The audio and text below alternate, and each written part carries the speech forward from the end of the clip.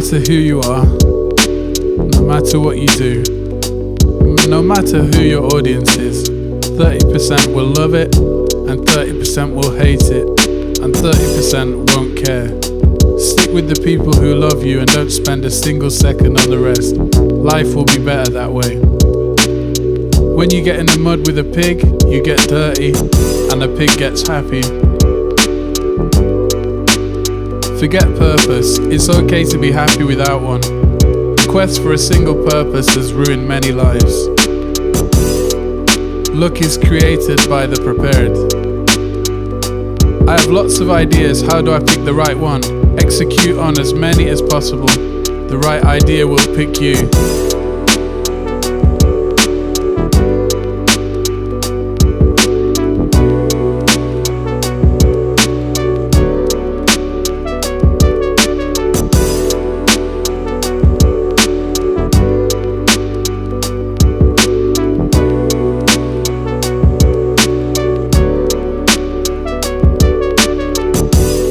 Diversification is everything. You get past this by having lots of that's.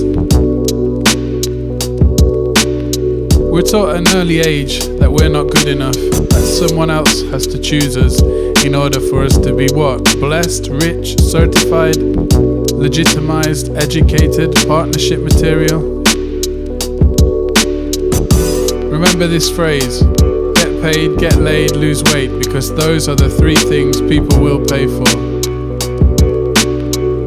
One candle can light a thousand other candles and still remain lit itself. Be that candle.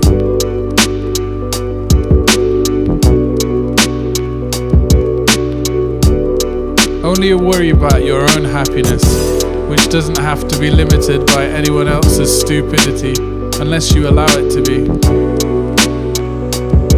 If something's not a hell yeah, then it's a no. If you can't walk away from a negotiation, then you aren't negotiating. You're just working out the terms of your slavery. Study the history of the form you want to master.